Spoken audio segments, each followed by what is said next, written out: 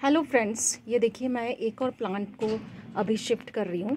ये है एक फ्लावर का है। मुझे इसका प्रॉपर नाम पता नहीं है। अगर आप लोगों को इस पत्ते को पहचान कर कुछ नाम पता चल रहा है, मैं सिर्फ़ इसको अभी सिर्फ़ मात्र कहने के वजह से लिया आई हूँ कि इसमें फ्लावर होंगे। ठीक है? तो जब होंगे तब देखेंगे बट इसको मैं शिफ्ट कर दे रही हूँ।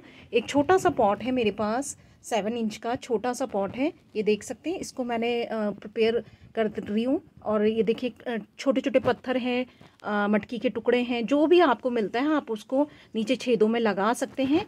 और ये देखिए मैं इसका मैंने ये देखिए पूरा निकाल दिया है। इसमें लाल मिट्टी नहीं है तो इसको हम लोग थोड़ा सा ज़्यादा सोचना नहीं है। और ये देखिए, इसमें बहुत अच्छी जड़ भी है, बहुत लंबी जड़ भी है। इसको एज इज़ इट इज़ सोच रहे हैं मैं लगाने की बट थोड़ा चिकनी मिट्टी जैसी दिख रही है अब मेरे को इसमें। तो इसकी भी मैं थोड़ी जड़ों को लूज़ कर लूँगी, ये देखिए, क्योंकि इसमें बहुत अच्छी ऑलरेडी जड़ है। तो इसको हम लोग पहले शिफ्ट कर लेंगे। अच्छा इसमें दो पेड़ आ चुके हैं। ये देखिए, ये दो पेड़ शिफ्ट हो रखे हैं एक्चुअली इसमें। एक साथ ये दो पेड़ हैं। ये देखिए।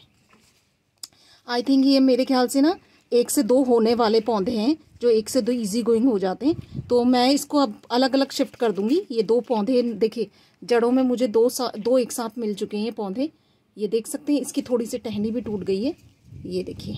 और इस पौधे को मैं सोच रही हूँ लगा देती हूँ। याला मैं इसमें लगा देती हूँ। और ये जो मैंने पॉट तैयार करा है, इसको हम लोग पहले भर देते हैं अच्छी खाद वाद मिलाकर। ये देखिए, बहुत अच्छी मिट्टी तैयार हो रखी है। आप इस, इसी मिट्टी के साथ इसको शिफ्ट कर सकते हैं। जो भी आप प्रिपेयर कर रहे हैं अपनी मिट्टी को, उसमें ही ये बीच में लगा देना है और इसको शिफ्ट कर देना है। देखिए, ये बहुत अच्छी जड़ जड़ इसमें ऑलरेडी निकल गई और जब भी आप इसको शिफ्ट करना चाहते हैं, मैं दो मिनट इसको पहले अपने हाथ से एक बार जड़ को समेट कर फिर मैं आपको इसको दिखा देती हूँ, ठीक है? फ्रेंड्स ऐसे ही क्योंकि अभी एक हाथ से करना है और बहुत मज़बूत पेड़ है आई थिंक ये। बहुत मज़बूत पेड़ है। ये देखिए, बहुत अच्छी इसमें जड़ आ रखी है, देखिए। है ना? तो इसकी जड़ों को अभी मैं कुछ भी नहीं छेड़ रही हूँ, क्योंकि मे भी अभी उगा नहीं है। तो एक बार अपन पहले शिफ्ट कर देती हूँ, मैं आपको अभी दिखा देती हूँ, ठीक है? हाँ।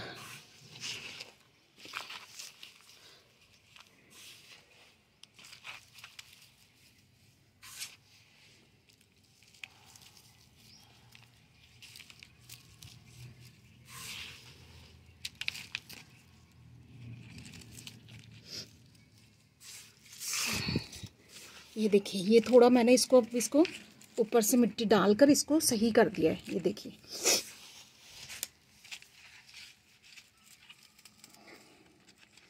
आई थिंक ये मे भी आपके किस तरह से, मुझे इसको पता नहीं है ये किस तरह से होगा बट ये देखिए, मैंने इसको शिफ्ट कर दिया है। अब आप देखिए, इस प्लांट को थोड़ा सा दबा देना है, छाँव में रखना है, सात आठ दिन हो जाए, आप छाँव में इस पौधे को रख सकते हैं। ये देखिए।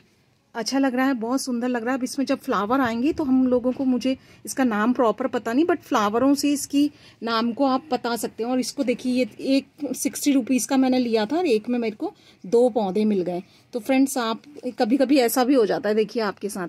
ये दूसरा पौधा भी मुझे मिल गया है, ठीक है? तो फ्रेंड्स आपको ये वीडियो कैसी लगी बताइएगा। मेरे वीडियो को लाइक करिए शेयर करिए और सब्सक्राइब करिए। Thank you